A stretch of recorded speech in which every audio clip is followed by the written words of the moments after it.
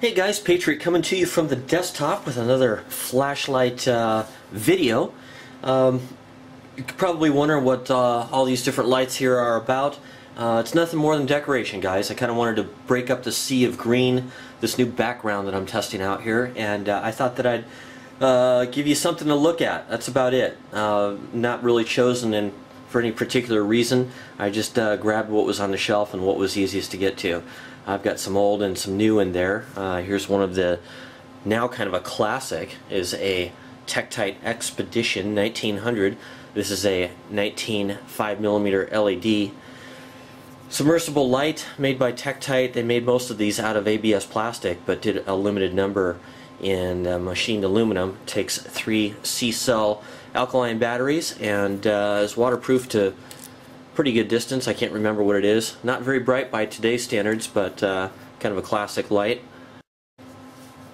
But I'm not going to stretch out the intro any longer. Let's go ahead and get down to uh, the subject matter. You already know from the title of the video that this video is going to be about the Streamlight MicroStream.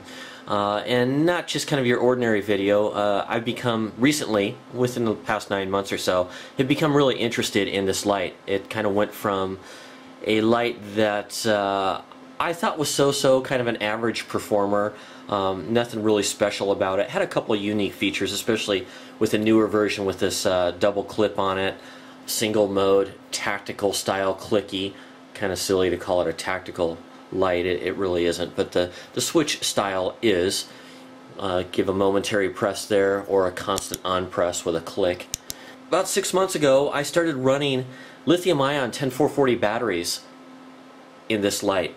Now, lithium-ion 10440 batteries are, are, not new to me. It's something that uh, I've been running in a variety of AAA lights uh, like the Maritac, the Preon, the ITP uh, upgrade, uh, sort of recently the ThruNite TI, and uh, a host of other Fenix lights. Um, uh, of all different uh, LED formulas.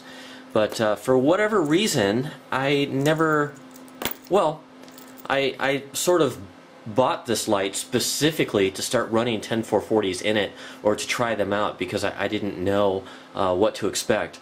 And, uh, and boy, when I put that 10440 in there, I was astonished at the performance to say the least.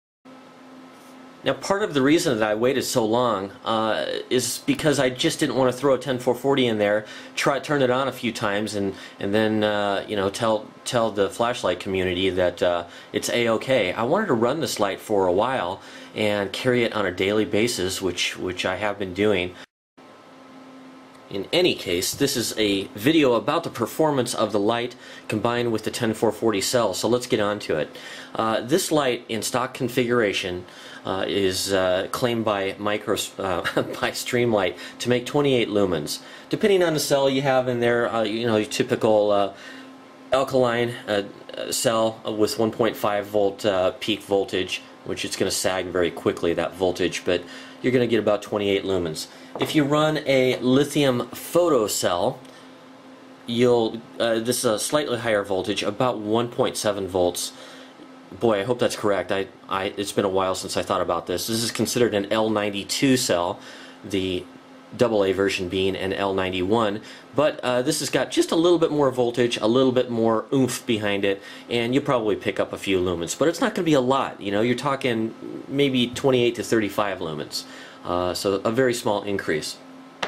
Well, what I'm running in there now is a lithium ion 10440 cell. This is a unprotected cell. 500 milliamp hours, or you know, that's what they claim. Uh, you're not going to really see that in use, especially uh, in a direct drive mode in a light like this or some of these other lights that I showed you earlier. But uh, you'll see that I've kind of got a history of doing some AAA uh, flashlight videos with the 10440 cell and and I show that I demonstrate that it can be done without hurting the light well it's not always the case it is possible uh, because that voltage jumps from 1.5 1.7 in the case of the L92 cell and 1.2 volts in the case of a rechargeable uh, nickel metal hydride type of cell which this is not one I don't have one out here but uh, uh, it's even a little bit less voltage, but depends on how much load is under it. You'll actually uh, it can maintain uh, that current a little bit better. Anyhow, I'm, I'm rambling now, but um, what I'm what I'm trying to get to is this cell, this 10440 cell, like uh, all cylinder type lithium ion cells, or like most of this chemistry, it's 4.2 volts. So we're going all the way from 1.5, 1.7, all the way up to 4.2 volts. Uh, so, you know, we've really increased the voltage. So I'm not going to just throw this in there, have it work a couple times, and then tell you guys it's okay, as I mentioned earlier. Uh, so I've been running this light, and not only have I been running this light for nine months now on a daily basis, or practically a daily basis.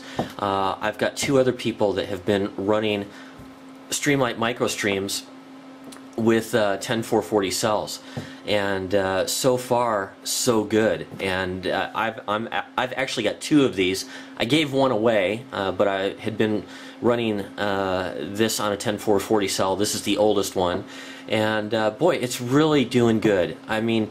Um, not a single problem, not a single glitch, and the other two people that are running this flashlight with the 10440 uh, are really impressed with it, like staggeringly impressed. The first, I, the first time uh, DC, I'll just go ahead and tell you who one of them is. Uh, the first time DC ran this uh, flashlight with a 10440 cell, he couldn't believe it, and he's been carrying the thing as far as I know, still on a pretty much daily basis. And uh, uh, it was uh, there was a, a, period of time there where we probably didn't uh, go past each other without uh, lighting each other up. So it's a, a, really impressive little light. I'm going to go ahead and, and, show you some beam shots that I did uh, yesterday during the daytime. So stay tuned. Okay, and now on to the Streamlight MicroStream with 10440. You can see what a focused, tight hotspot that is compared to the other lights. Let's compare that to the Preon 1. There's a Preon 1 on high, very bright light. And there's a microstream on the left. Really a big difference. Microstream on the left. Go back to more of a regular standard. This is going to be the Maritac AAA. I'm going to turn that on high and here is the streamlight and the uh, the Maritac's a really good performing light. I mean it really does well but compared to the Streamlight I mean it's just in, in throw there's there's no comparison. It's night and day Okay guys, I hope that that was helpful, that you could at least see the beam pattern and the intensity to a certain level uh, that, that, would be, uh, that would be helpful to you. So um, the reason that I am not going out in the backyard at nighttime and showing you these is because the, we're still talking about a, a, a, small number of lumens compared to, uh, well, like this 1800 lumen Boxer HID light from, uh, who is it from? Wolf Eyes. So, uh, you know, we don't have that kind of light to deal with, and the camera just can't pick it up. So I did a daytime uh, test with the uh, with the curtain shut, uh, just to kind of show you the beam pattern. So where, what kind of lumens is this putting out right now? Well, we go from about 28 lumens up to somewhere in the neighborhood of 120 to 100, 140 lumens by my uh, light meter. Uh, so it doesn't measure lumens, you need some different equipment to do that, but in some ceiling bounce tests, that's about where this light falls in uh, with some other well-known lights, right between 120 and 140. Well that is a, a decent amount of light uh, for a 10440 power AAA. It's still not as much as this Preon. This Preon's pushing 180 lumens. Uh, depends kind of on the cell, up to 200 lumens. Uh, this has a different emitter in it though. Uh, this Maritac uh, somewhere around 150, 160 lumens. And uh, this one's been really impressive. This is uh, pretty much uh, matching the pace of, uh, which is the, I'm sorry, I didn't even say what it was. This is the ThruNite. I don't know if you can read that there the ThruNite and this is the ThruNite TI it's a two mode light and uh, it's just about uh, it's pretty much right there with the Preon but um, where this makes it up is in the throw department which you saw in the video so it's actually less lumens than all of these other lights that I showed you but it throws better. So it culminates that light with that reflector. That combined with what I think, I'm not sure, I think it's an XRE emitter and it doesn't appear to have a dome on it. I looked at it with a loupe and I, I couldn't see uh, a dome that is pretty recognizable in the Maritac. You see a little clear polycarbonate dome over that LED. Well, this one doesn't seem to have that, and I, it looks like an XRE, which is a very small emitter. The smaller the emitter, the emitter is, the better the chance it has of producing a lot of throw. So even though we've just we've got a little, whatever this is, perhaps a 12 millimeter reflector, uh, might even be a little bit less than that. Here, let's just look really quick. Uh, 13 millimeter to the inside here. So yeah, 12 to 13 millimeter. Despite that little 12 to 13 millimeter reflector, it really does great, as you guys saw. I'm kind of doing this in reverse order, and I'm forgetting that I just uh, showed you that video, or the video that I'll be mixing in. Uh, this, uh, this LED, they Streamlight actually calls it a C4, and uh, they don't, I'm not even sure if they actually disclose what C4 is.